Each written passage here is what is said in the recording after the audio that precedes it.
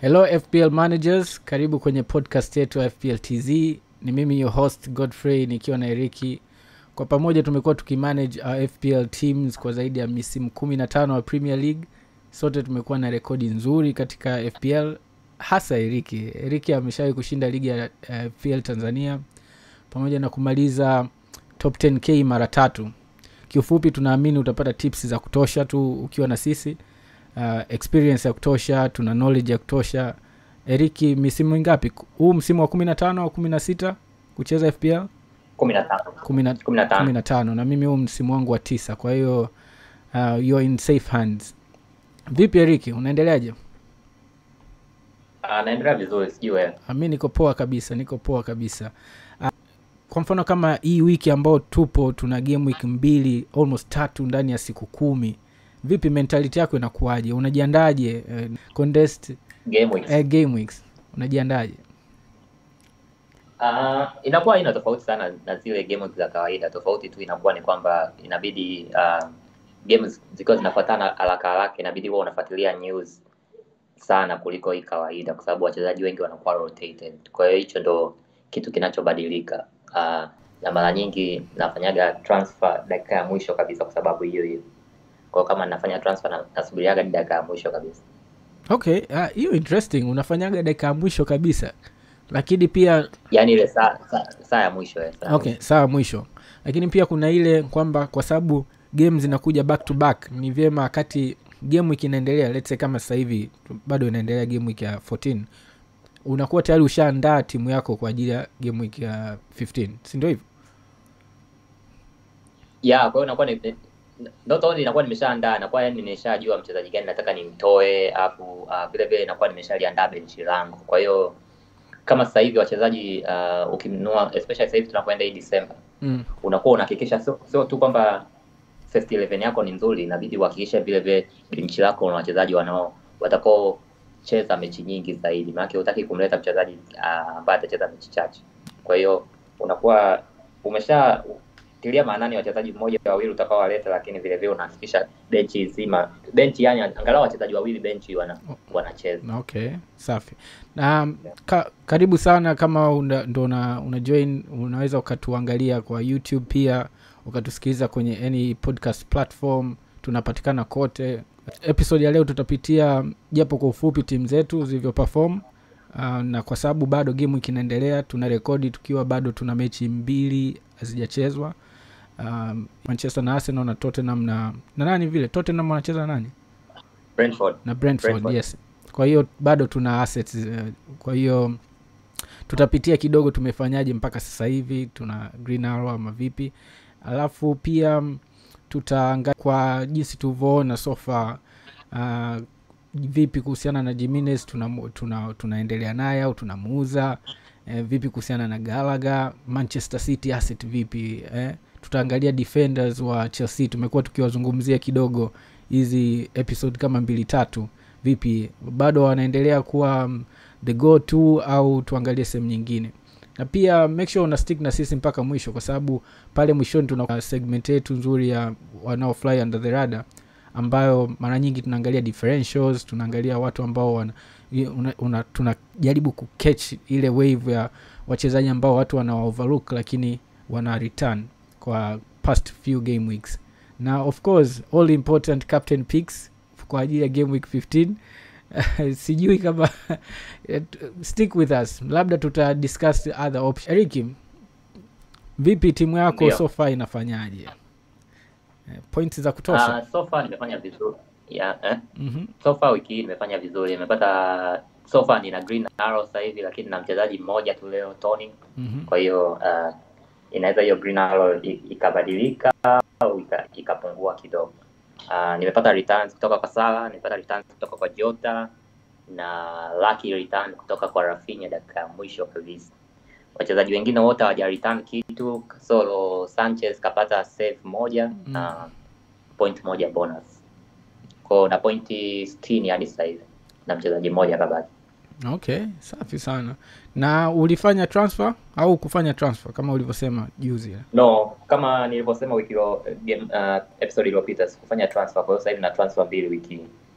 Na, na sasa hivi naona una una una trade kwenye maji ya ch- chini ya top 50k sio mchezo 49k hapo.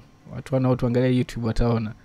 You're doing very good. Yeah yeah so far lakini msimu bado ni mrefu kwa hiyo ah, sasa hivi siangalii sana uh, ranking. Ni, ku- ni kuangalia tu green arrows ziendelee. Ah, okay. Kwa sababu fantasy unavyojua wiki moja tu unaweza uka- uka- ukashuka ukarudi tena laki moja. Inatokea. Safi sana. Mi, mi mwenyewe game week yangu inaenda vizuri ingawa nina red arrow surprisingly na red arrow na na point hamsini na sita mpaka sasa hivi.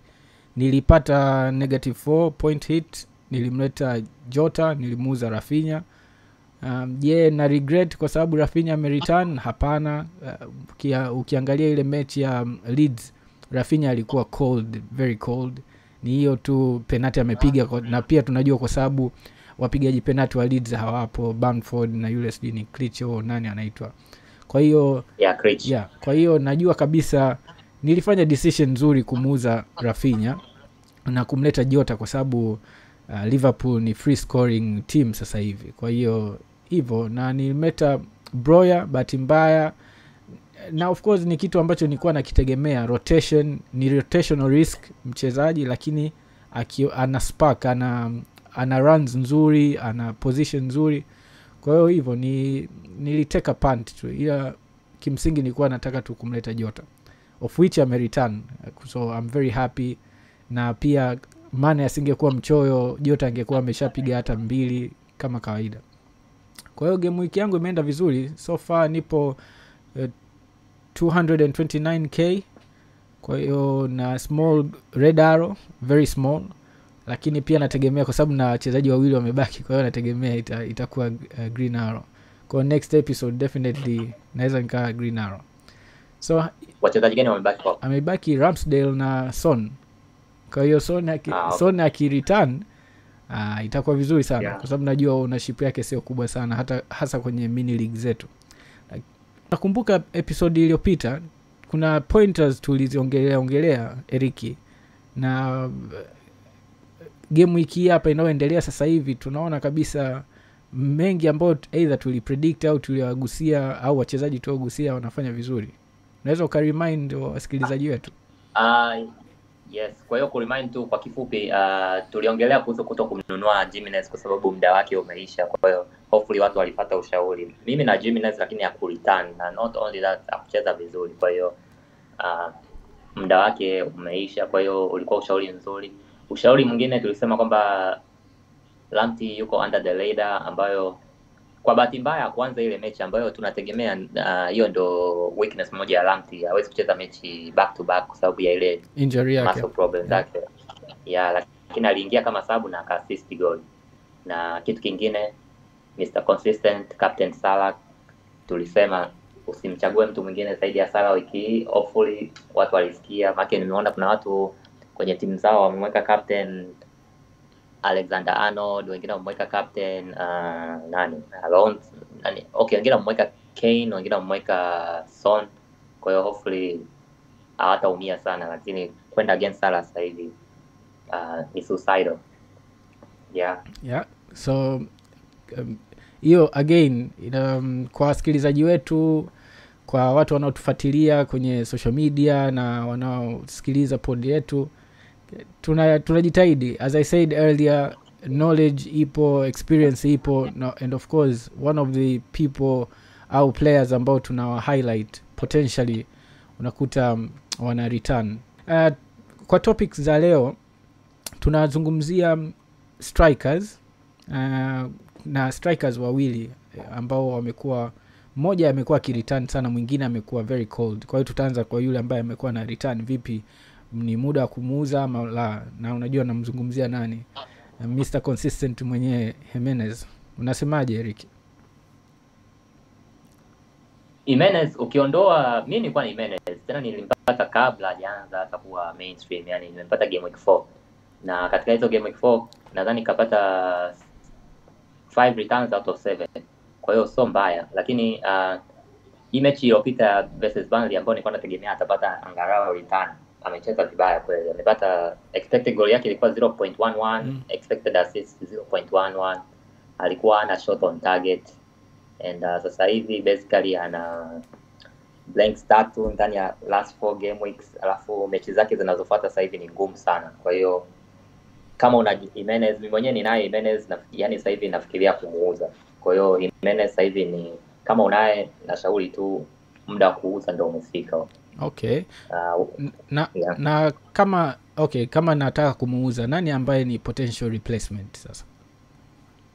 Sasa hapo ndo tatizo ndo yani hiyo ndo million dollar question sasa hivi. Kwa sababu unakumbuka tulivyokuwa tunaongelea kwamba basically ana three out of four blanks in the last uh, three blanks in the last four matches. Mm-hmm. kwa hiyo hapo replacement yake yupo wilson wa newcastle uh, yeye ile mechi ya norwich alicheza central alicheza alikuwa na two shots on target mm in, two shots in, in the box afu yeye ni more threatening kuliko nani st maxima yeah. vile vile wana mechi na uh, Burnley afu wana mechi na Leicester City. Kwa hiyo huyu anaweza kawa ni good replacement. Replacement wengine uh, ni Watkins Yeah. uh, kafunga versus Man City ambao tunajua ni timu ngumu.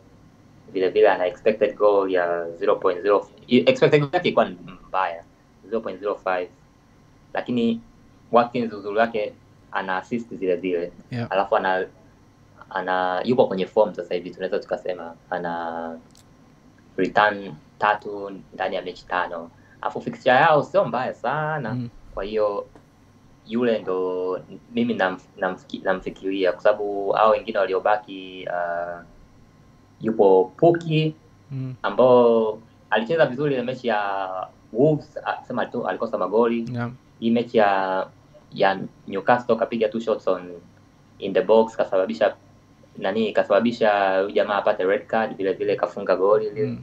kwa hiyo afye ndo kama the main guy pale Norwich anacheza central Mm. lakini bado siwaamini siwaamini Norwich sana alafu wana mechi mechi zao sio sio nzuri kwa hiyo huyo nimetoa Okay. mtu mwenye mechi rahisi Mm. ya ni Chris Wood Mm. ana mechi rahisi lakini timu yao ni mbovu kama hii mechi ya Wolves katoka tu na na shot moja tu uh, kwa hiyo um, isingekuwa anachezea Burnley na Burnley ni wabovu msimu huu ningesema ni- ni- nimchukue yeye lakini kwa sababu timu yao ni mbovu kwa hiyo hiyo nimemtoa. Yeah. Na, na, unaona mchezaji? Yeah. mimi hapo katika hii list nakuba, ninge kama ningewa rank na kama fund zina, zinakubali kusema uh, hapo ni watkins alafu wilson.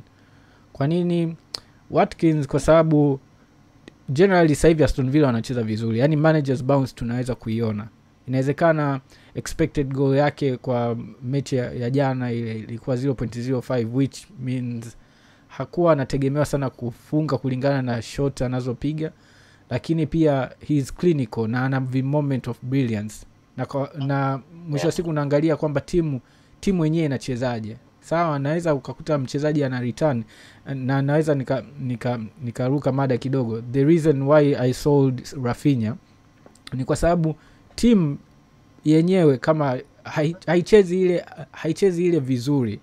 Kwa hiyo unaweza kukuta Yeah. sawa kuna mchezaji ana yuko vizuri sana like, the likes of rafinya na naritan lakini timu yenyewe haiko haiconvince.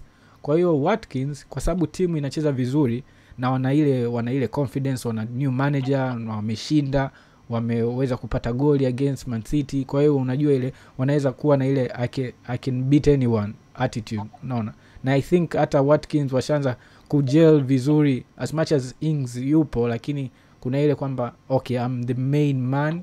Na um, so far kwa managers bounce ya gerard watkins yuko integral zaidi ya au options ulizozitaja. Puki is very good lakini bad fixture ahead.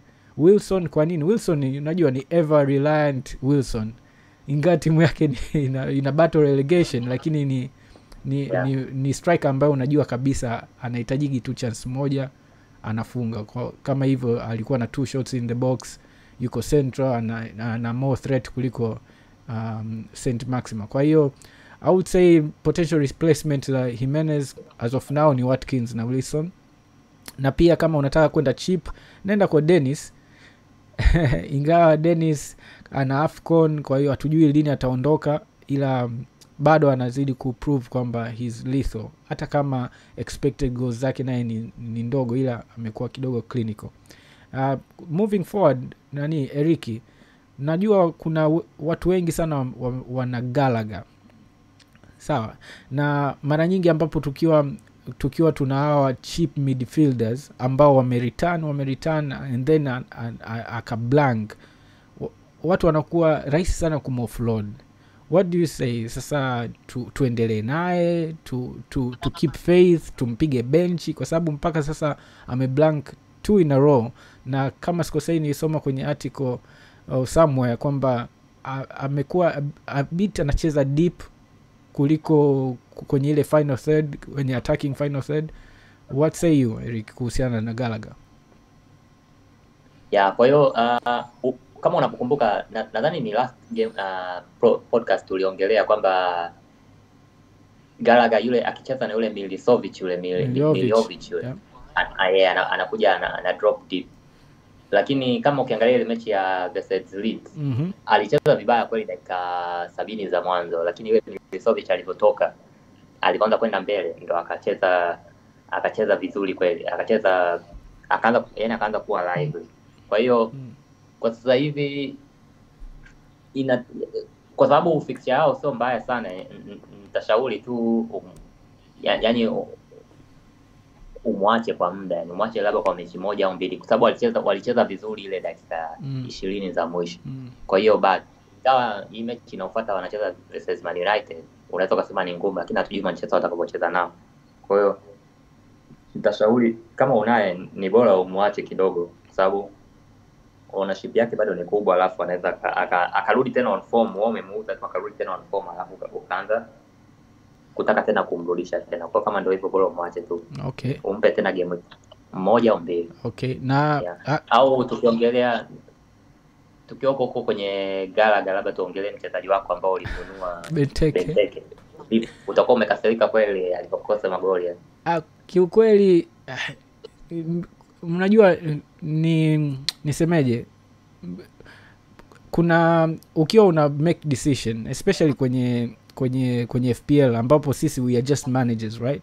Kwa hiyo tukifanya Yeah. decision ya kumleta kwa mfano kama benteke numbers zilikuwa nzuri uh, ownership yake ndogo kwa hiyo ni ile kwenye strategy yangu wa kwamba na catch uh, the, the wave. Lakini akapigwa bench which haikuni surprise sana kwa sababu tuko kwenye midweek hii hapa. Ni game week ambayo inachezwa Yeah. katikati ya wiki. Kwa hiyo rotation lazima. Wamepigwa rotation wachezaji wengi. Lakini alivyoingia pamoja na kwamba ali, alipewa dakika ishirini tu uh, alipata two big chances na bila kuwa na ile heroic save ya leads keeper angekuwa tayari kasha return.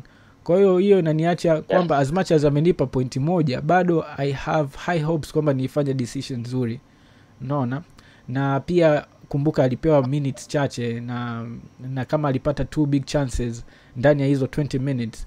Na najua when it comes to kuna kitu anakiita nini? Xgi eh? um, expected goals Yeah. involvement.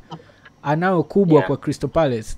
Kwa hiyo binafsi niko niko okay kuwa na benteke. At least nampa to the next two game weeks. Kama ana game week ngumu uh, I can, I'm happy to bench him lakini na uhakika ndani ya hizi two game weeks anaweza akaritan na na mi nika- nikawa nafurahia ku, kumchukua mapema kwa hiyo yeah I'm, I'm keeping benteke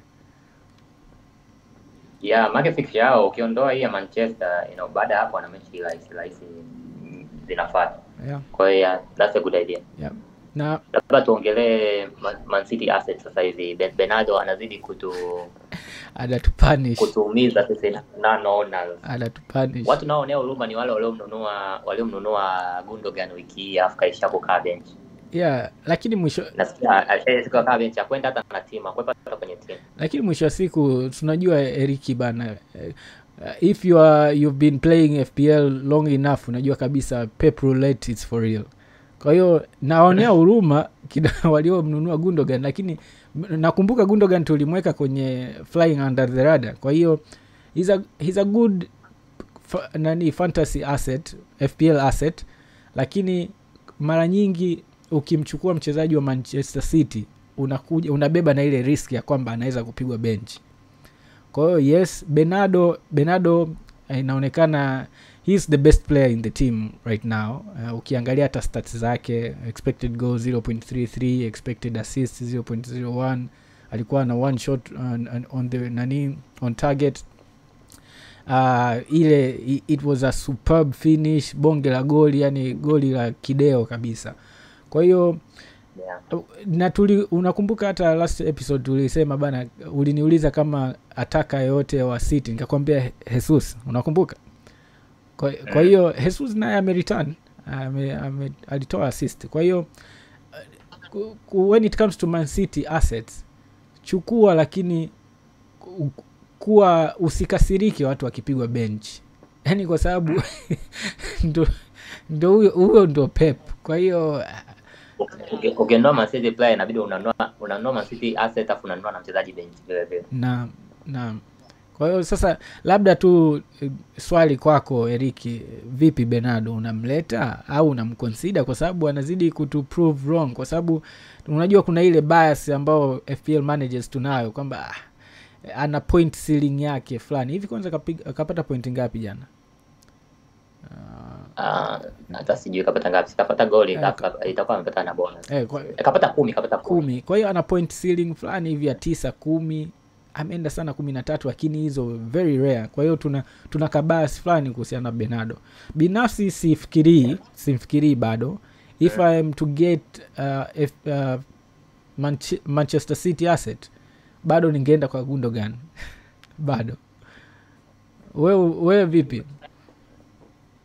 Mimi ninaye ninaye Foden. Mm-hmm. uh, ambayo nimemleta akanipa three blanks game week tatu zote kanipa blanks. Tena ndo mchezaji ambao nimemnunua kwa kupata hit msimu huu. Mm. kwa hajaniletea chochote zaidi ya negative.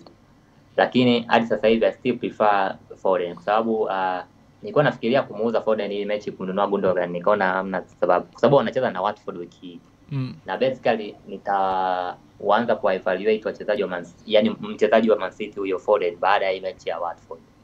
Asipocheza hiyo mechi ya Watford Mm. Ndo nitafikiria kumuuza. Maake Man City wana mechi nzuri kweli yani. Wana mechi nzuri kama tano hivi au sita yani.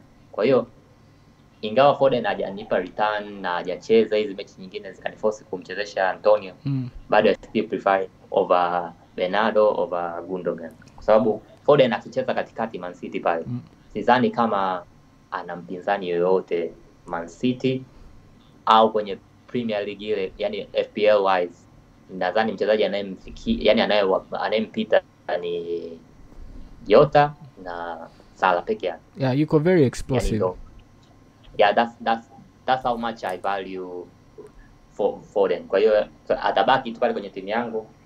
Maki maana hii mechi ya Aston Villa alikuwepo benchi ingawa hakuingia. Kwa hiyo hopefully atacheza hii mechi ya Watford. Na akicheza hii mechi ya Watford akireturn mara moja mara mbili everything will be forgiven unajua kama FPL ilivyo tunasahau yaliyopita eh, kama kawaida. Na hivyo na watford fixture yani da I say you have to yeah. uh, have a manchester city asset. Mimi sina kwa hiyo na sidhani kama nina mpango wa kumleta edi manchester city ukitoa kanshelo kwa hiyo yeah. And, and kudos kwa diaz owners. Diaz amefunga goli kwa hiyo yeah. kudos to them Ah, tena goli la kama striker. Mimi nifikia anafunga goli la kona. Nimeliangalia goli lake. Goli- Goli zuri kweli. goli zuri sana sasa hapo tu, kwenye defenders vipi bana chelsea eh? chelsea tunawafanyaje ise Chelsea yani kama unavyojua sisi ndo tulikuwa kwenye hype train ya Chelsea iliyopita. Tumwapigia debe utafiwa na siasa vile. Tukasahau tukasahau mtu muhimu Chelsea ni Kante bwana, so defenders ni, ni Kante ndio mtu muhimu mm. Manake ile mechi ya first half na Watford ile wangeweza kupigwa hata ngapi sijui. Uh, expected goal ilikuwa 0.7 0.7 ngapi sijui 72 73 ah Watford wako vizuri kweli. Mm. And uh, wameishia kupata six shot on target against na wa, kama unavyojua walikosa ile alafu expected goal Man United ilikuwa 0 ya conceded ilikuwa 0.7 kwa hiyo ni mara mbili sasa hivi Chelsea wanaenda kama yani wana, wana concede goal ambao ni deserving Yeah. kwa sababu kulikuwa kuna zile mechi mwanzoni mwa msimu zile walikuwa yani wana expected goal against kubwa lakini wafungwi goal Yeah. sababu ya heroic ya Mendy Yep. tunamjua Mendy yule Mm. mbishi jamaa lakini sasa hivi naona magoli yanaanza kuingia lakini mimi I say kama una beki mmoja wa Chelsea ambayo ni kama James ambaye hajacheza wiki hii lakini atarudi Mm. mwache hamna haja ya kumuuza sasa hivi. Au kama una Alonso na mwenyewe mwache kwa sababu hamna haja ya kumuuza sasa hivi. I believe wata sijui kusagani ile mechi itamchezesha Sol. Hilo ndio jambo lingine. Maana yule Sol nadhani kaifanya ile Chelsea wawe weak kwa ile mechi ya jana. Kwa hiyo sidhani kama Chelsea watadefend vile vile vibaya. Ingawa anacheza na wanacheza mechi yao wanacheza na West Ham but I still believe watarudi tena kwenye hali yao ya kawaida. Kwa hiyo my advice is to keep Chelsea. Lakini kwa sasa hivi kama unataka kununua second defender au advice kumchukua mchezaji wa Man City kuliko Chelsea. Na huyo mchezaji wa Man City twende defenders au twende nani? Twende, no kwa defenders. Nasema kama una, una prefer kumchukua second Chelsea defender. Ah, okay. unajua watu walikuwa wanaenda two Chelsea defenders kwa kama sasa hivi unataka kumchukua second Chelsea defender uh, uh, ni bora kumchukua Diaz ukawa na Diaz na Cancelo alafu ukawa na Diaz Cancelo alafu Chelsea ukawa na una James peke yake kuliko kuwa na wachezaji wawili wa Chelsea. Kwa sababu Man City Man City wako ingawa wamefungwa jana goli wamefungwa eh, expected goal ilikuwa 0.05 mm. defense yao ni, ni kali zaidi na yani imeshift ilikuwa Chelsea sasa hivi ndo Man City. Ndo mpira ulivyo lakini Yeah. unaweza kununua ikabadilika tena kwa hiyo. Lakini Man City wana mechi rahisi ujue. Mechi rahisi zinafanya sasa kwa mfano nani Eric, wewe mwenyewe una ume double up kwa defenders wa Chelsea. Vipi bado unaendelea na Yeah. Rudiger?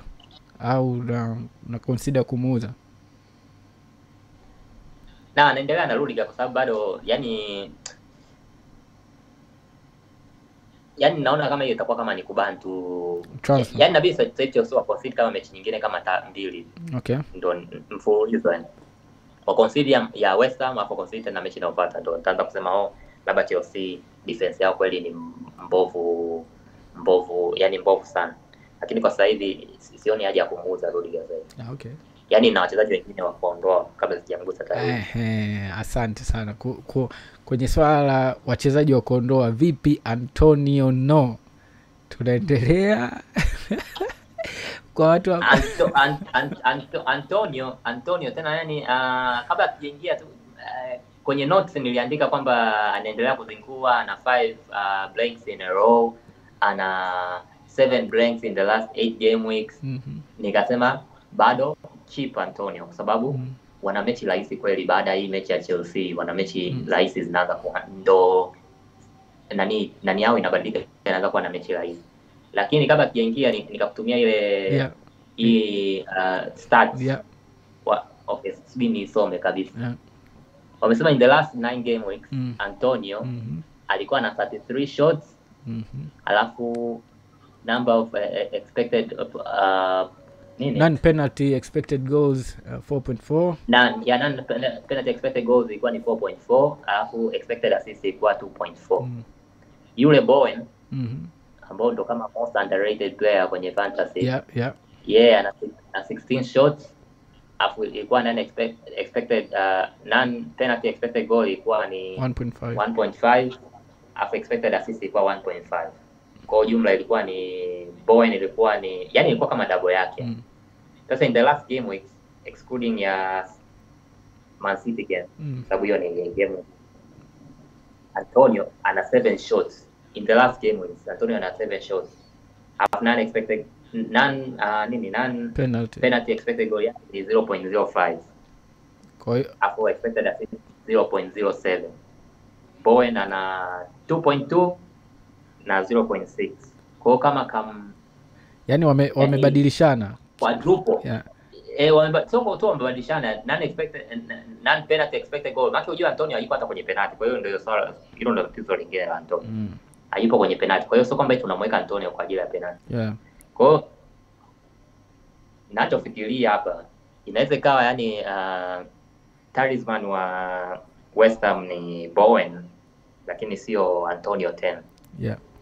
Sasa inaweza ikawa ni either Antonio alikuwa out of form mambo yake inatokea ndio Maana tulikuwa tunaangalia, unakumbuka tulikuwa tunaongea tukaangalia kwamba Antonio bado anacheza katikati, sio Mm. kwamba average position yake bado ni katikati mm.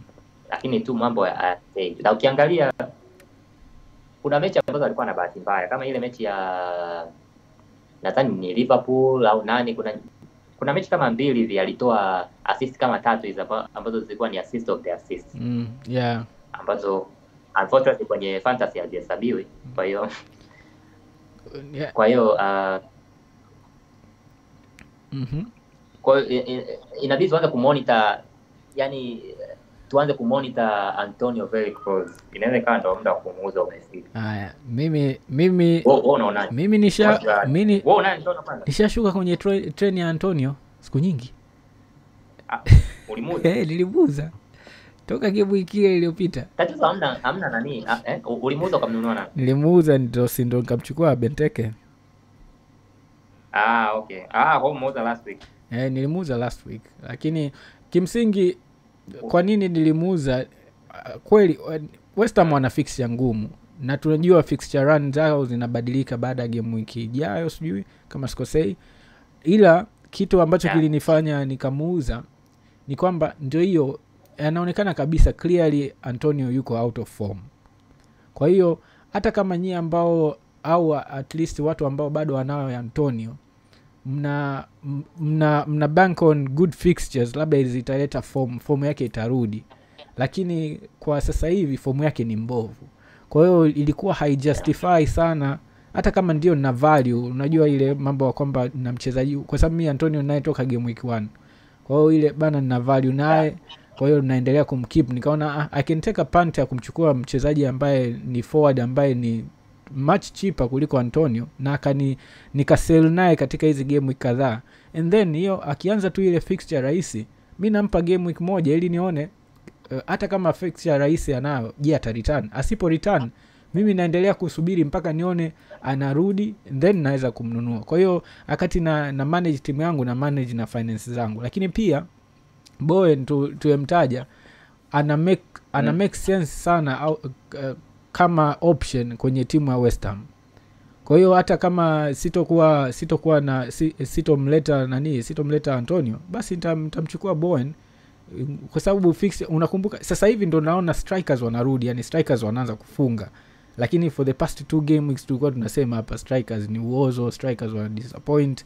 Kwa hiyo binafsi yeah. mi nishashuka treni ya antonio uh, and I'm happy.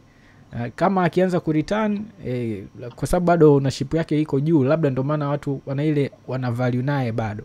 Lakini kimsingi kwa hizi numbers tulizozisema ina make sense zaidi kuwa na bowen kuliko antonio. Na kumbuka antonio nani bowen ni midfielder antonio ni forward. Kwa hiyo una, unapata yani unapata value zaidi ukiwa na, na bowen. Na hivyo volume of shots uh, 2.2 non penalty expected goals which is very high. Na anakosa hela ndogo na zaidi anakosti hela ndogo zaidi. Kwa hiyo kwenye antonio owners bado sidhani kama jibu ni, ni rahisi sana kusema keep or sell. Inategemea na wewe appetite yako lakini binafsi mimi nishamuuza na hata si, sina wasiwasi kwa sababu najua ana ana ana, ana fomu mbaya kimsingi. Hivyo. Yeah. mi ninaye laki- ninaye lakini yani napata yani tatizo ni kwamba ni hiyo yani ukimuuza antonio maana sasa hivi na, na strike wawili wasoba ambao hawaperform ni na antonio ni na jimenez mm. jimenez sio kwamba perform lakini yani muda wa kumuuza ndio umefika nilikuwa shapanga baada ya game na namuuza yeah, yeah. Tu, kwa hiyo yani hapo ni kupata striker wawili wa kumuuza kwa kuwauza afu kupata replacement yake ndo nitashinda Mm. naweza nika- naweza nikaishia kubaki tu na antonio uh, hii game wiki yake rahisi ikianza yani ni ni sahau game baki kuna game nyingine mimi kacheza alitakiwa asicheze kwa Mm. sababu tu Foden alikuwa ameumia yeah. kwa hiyo nisahau hizo hizi game ambazo haja nianze naye yani niseme kwamba antonio mm. uh, uh, 16 maana 15 wanacheza na Chelsea, kwa hiyo hiyo si hesabu. Kuanzia game 16 pale anapoanza kucheza na game week rahisi, tunaanza upya. okay. Nakupa game week mbili tatu, niangalie utachezaje. yeah, yeah.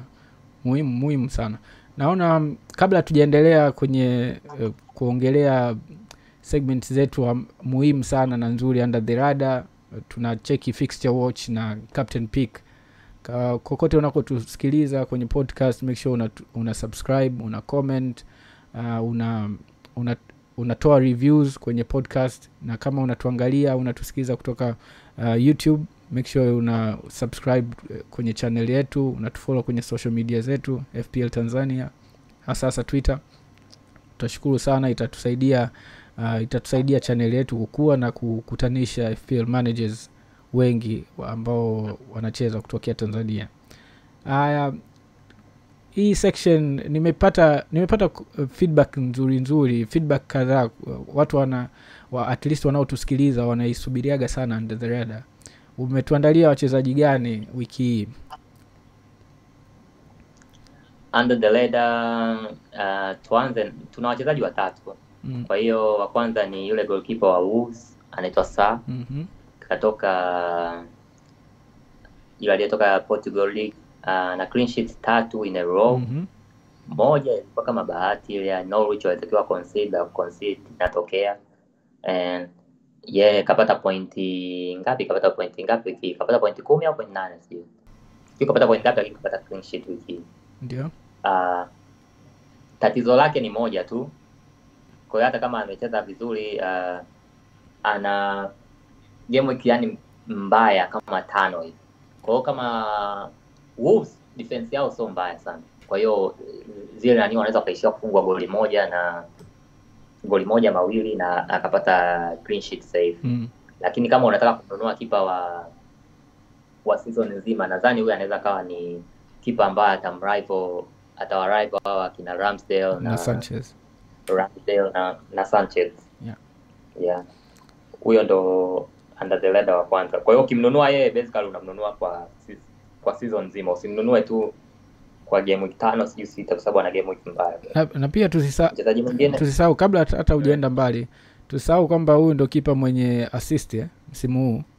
Kwa hiyo na na, na, na Foster anayo assist. na Foster ana assist. Kwa hiyo distribution yake nzuri uh, na pia sijacheki ownership yake lakini uh, sidhani kama ni highly owned ukikompea na Sanchez na Ramsdale. Kwa hiyo kama you want to make a, a move ya keeper na sasa hivi hizo three clean sheets uh, Wolves wanacheza vizuri at, at least kwa sababu kumbuka toka msimu ulivyoanza game week 1 game week 2 Wolves wako defensively wako vizuri.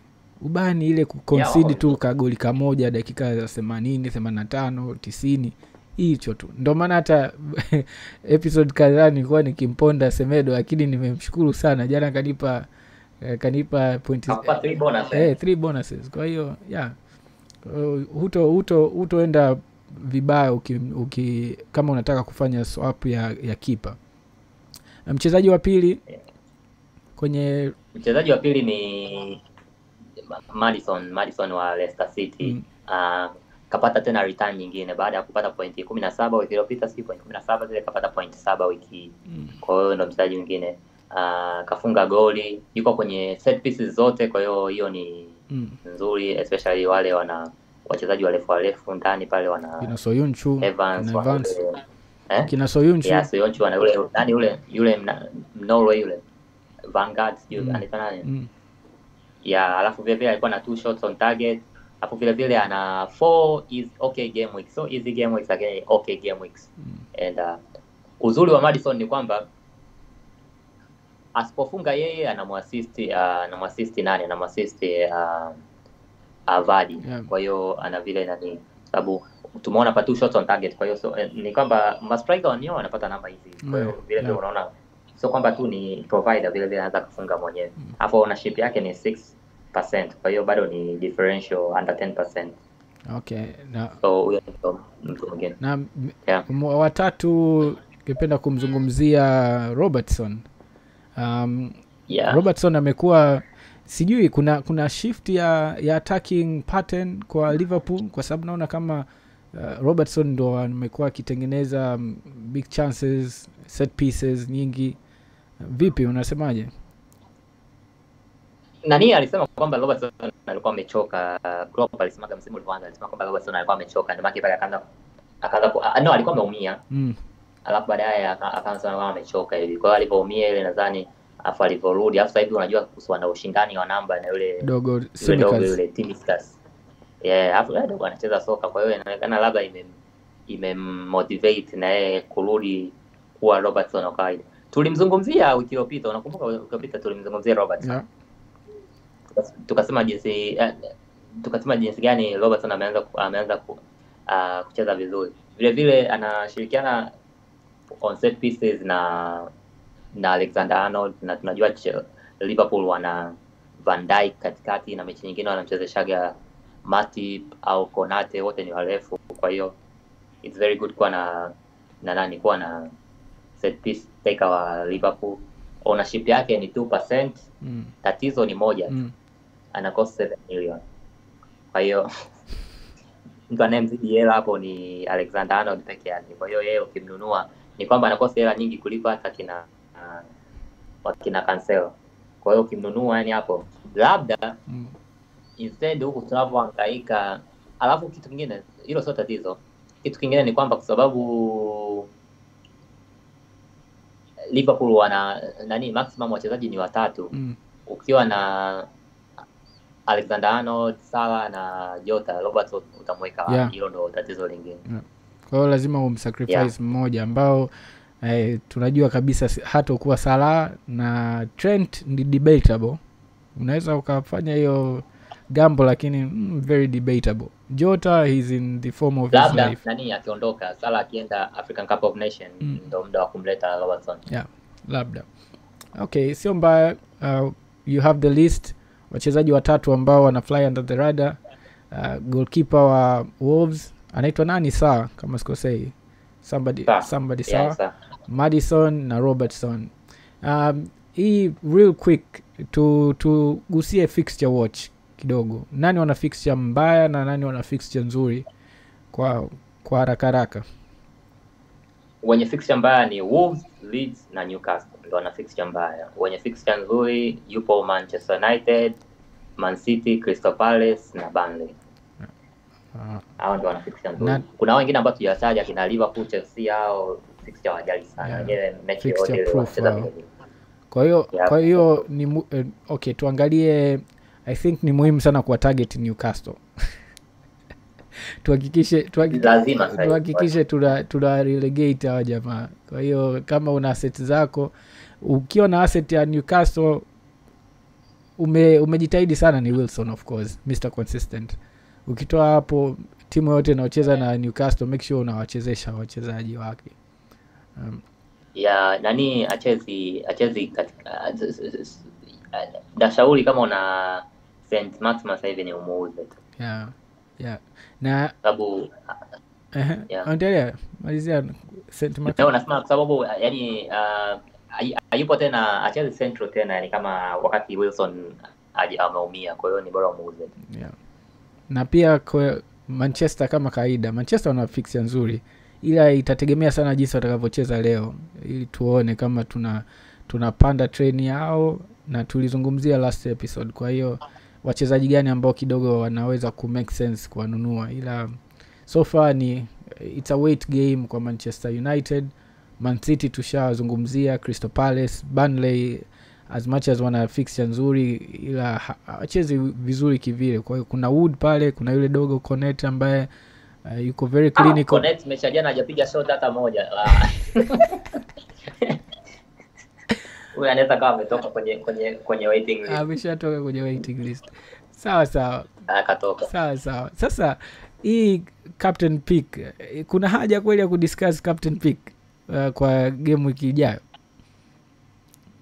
Captain pick uh, haja bado ipo especially kwa sababu leo Kane bado akicheza. Kane leo akicheza vizuri mm. uh, anaweza na yeye akarudi kwenye captain pick kwa sababu anacheza na Norwich Mm. na lakini uh, kwa hiyo siwezi kumrule out, lakini tun, tuna, kama tunavyoona Salah ndo hadi akiblank Salah tunaendelea naye, lakini just for the sake of it, manake unajua tatizo ndo hiyo tulikuwa nazungumzia wiki iliyopita. Siku sala akipata pointi sita pointi ngapi sawa, lakini siku sala akipata kama hizi pointi kumi na tano alafu hoja captain sala. Nimemwona jamaa mmoja ametoka Mm. elfu thelathini duniani katupwa hadi nafasi elfu tisini duniani kwa sababu yeye alikuwa ja captain sala Mm. Kwa hiyo unaona mambo kama hayo. kwa hiyo ndo hilo ndo tatizo. Subiri nikusomea stats nilisoma mm. kabla sijaanza tu pod. Imesema kwamba Sala katika game week kumi na nne Mm. ka blank moja tu. Game week 2 unreal. Ndio yeye unreal unreal. Alafu Mhm. ana double digit return. Half of the games. Double double digit returns. Half of the games. Alafu uh, nini? Ya, yani kwa yani kwa hivyo vitu viwili tu yani hapo inabidi yani kwa hiyo ukimcaptain Salah yani una captain leo una captain kesho una uhakika mmoja atakuwa na double digit. Yeah. yani hiyo ni sidhani kama ishawahi kutokea. Haijawai tokea ndo naona kabisa yuko kwenye projection ya kuvunja rekodi yake mwenye ya kuwa na most points Ah, kwenye kwenye fpl kwa hiyo aise kama umekuwa kama broken record sasa hivi kila siku tunazungumzia yes yaani yani ndio maana nasema hivi kuna haja kweli ya kuzungumzia captain pick ya, kama kama yo maverick una una una kane huenda kama akianza kufunga lakini. Pia jota niona watu watu wame captain jota kwa hiyo sio mbaya he looks very sharp. He's confident. Iko clinical. Tumeona chance aliyoipata na involvement yake movement kwenye box. Ukitoa tu yani kama sio uchoyo wa mane kama nilivyosema awali jota angekuwa amepiga goli mbili jana tusingeshangaa. Kwa hiyo eh, unaweza uka unaweza uka get away kwa kwa jinsi wanavyocheza sasa hivi liverpool. Mi naona the yani the contender wa captain pick serious contender ni jota ukitoa huyo basi yani uh, sioni mwingine binafsi. Au kina kane kina ronaldo kina nani au wengine wote sawa. Ikiwa ngekewa utapata pointi zao. Kina kina mount kina nani ambao hata hatujawazungumzia ingawa wamepata pointi nyingi. Ila salah hana mpinzani. Mpaka kwa kwa sisi kwa pod ya fpltz until he blanks bado ana kitambaa kita cha ukapteni kina super glue kwa salah. Inabaki pale pale sasa na- nahisi tume tume tume exhaust nani tume exhaust topics zetu tume um, tumeongelea captain pick tumeongelea under the rada na some pain points pain players ambao bado tuko nao. Tuna swali kutoka kwa kwa um, fpl manager kutoka instagram. Um, nani huyo anaitwa? Uh, bin hani? Anaitwa bin bin underscore honey. Kwa hiyo ni B- b-i-n underscore h-a-n-y uh, yes swali lake kaniandika instagram. Kama una, mas, una maswali jamani mnaweza mkatuuliza kwenye instagram tunaulizaga kama na maswali. Yeah. tutayataja hapa. Kwa bin underscore honey ndo umekuwa mtu wa kwanza kutuuliza swali asante sana. Alikuwa anauliza spurs na everton watakuwa na double game week. Nadhani alikuwa anamaanisha Burnley badala ya everton kwa sababu spurs alicheza na everton. Yeah. uh, kuna jamaa uh, kuna jamaa mmoja anaitwa Ben Car Caring Yeah. yuko Twitter yeye mzuri kwa ajili ya mambo ya schedule. Yeah. Kwa hiyo yeye yeah, atakapokuwa anatoa schedule zile za double game weeks au blank game weeks tutakuwa tuna update. Lakini anaposema yeye ni kwamba kama Chelsea wakipoteza against Brentford kwenye E- EFL Cup ile Carabao Cup ile quarter final Mm, ile midweek after game week 18 mm. ndo watakuwa watapata double game week game week ishirini na moja. Lakini uzuri ni kwamba uh, uzuri ni kwamba hizi double game week au blank game week zinatolewaga mapema kwa sababu uh, mwanzoni mwa mwezi kwa sababu ya ile schedule inabidi watume schedule kwenye kwenye nini kwenye hivi tv Yeah. kujua yani Yeah. mechi yao itaonyeshwa saa ngapi. Unajua mpira ni Yeah, ndio. Kwa hiyo ndo uzuri tutakuwa tunapata yani kama at least one month before most times inakuwa kama six weeks hivi tunakuwa tunajua. Lakini chelsea na Burnley wat, uh, no chelsea na Burnley. Uh, spurs na chelsea atakuwa na atakuwa na nini? Atakuwa na na blank game weeks zile wiki mbili zile atakazo- ata- wiki moja atakakuwa sifa sifa champion, sifa championship ile. Mm. Januari sijui nadhani ni game week 24 na 25 alafu uh, Burnley na Spurs na wenyewe watakuwa na double game week somewhere kwa sababu ya ile game yao iliyokuwa postponed.